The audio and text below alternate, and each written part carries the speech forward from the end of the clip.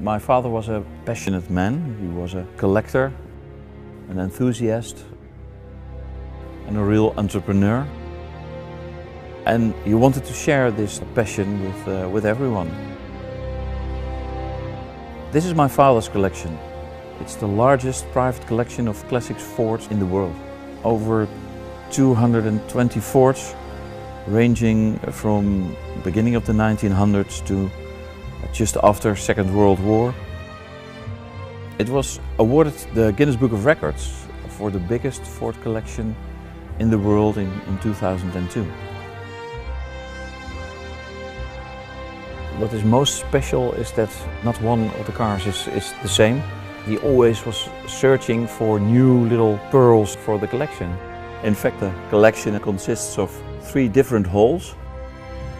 In hall 1, here mainly the Model Ts and pre-Model Ts are uh, brought together. Not one of them is uh, exactly the same. There are also uh, buses, uh, Lincolns. So this second hall of Dad's collection, this is where he kept mainly his Ford Model A's and uh, the V8s.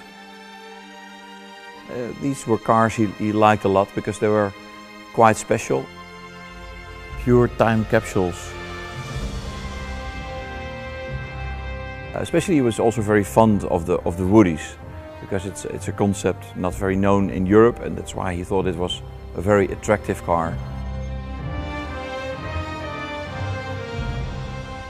This is the part where my father kept all the commercial vehicles of his collection.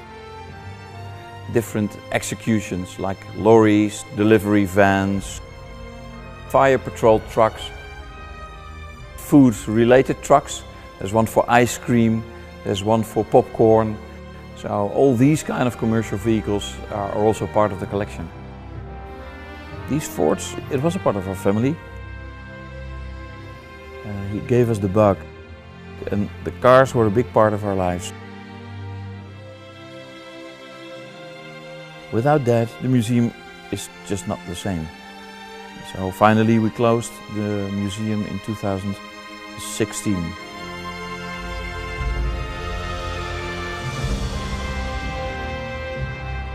Nou, dat heeft met, uh, met mijn kindertijd al te maken. Want wij hadden een transportbedrijf, wat we trouwens nog hebben. En daar kocht in 1924 de eerste T-Ford. Nou, die, die, stond dan ook wel eens in de garage. En als kind zijn er lekker te rommelen, dat ding.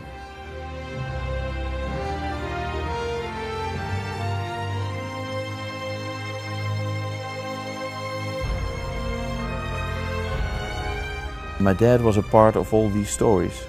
And now it's time for the story to continue.